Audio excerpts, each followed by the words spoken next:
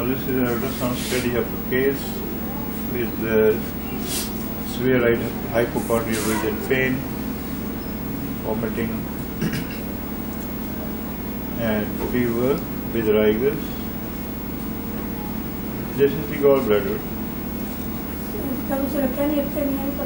Egg, this is the gallbladder and we can see that uh, this is the sludge, this is the calculus that measures approximately 19.9, the other 19.6 millimeters, and the sharp posterior shadow from the calculus. This is the wall of the gallbladder.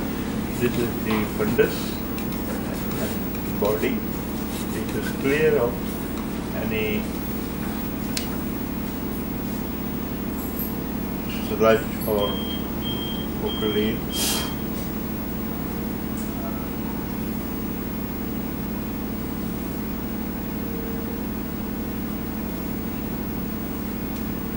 可能是理化不是。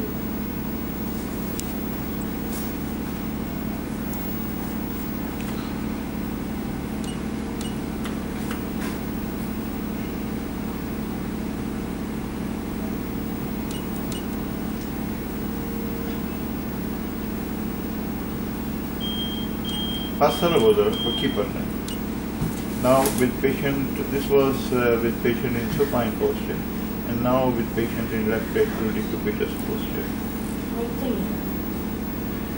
And you can see that the sludge is mobile. It has changed its shape and location. Whereas the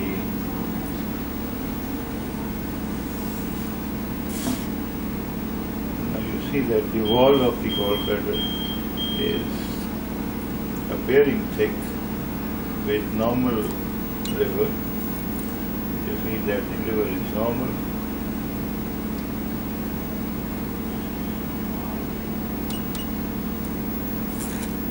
And here we are with the gallbladder.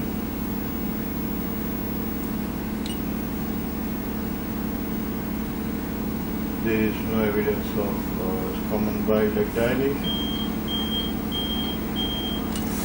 This is the portal vein, this is the common bile common bile and this is the uh, gallbladder.